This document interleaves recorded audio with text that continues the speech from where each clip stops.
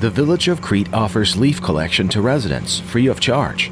To participate, collect leaves in front yard, no closer than 3 feet from the curb. Make sure there's enough room for the leaf collector to work.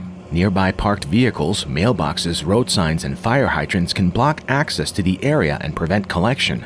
Please avoid getting leaves into the street, which could result in blocked storm sewers and flooding.